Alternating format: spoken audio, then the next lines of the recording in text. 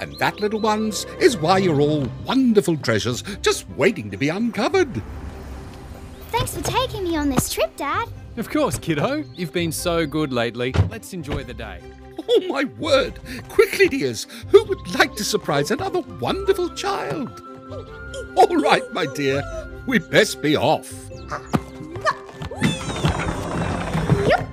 Mind your head.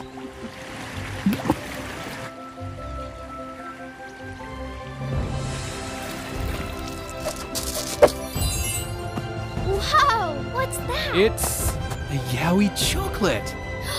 I'm gonna see what baby animal is inside. You deserve it, little one.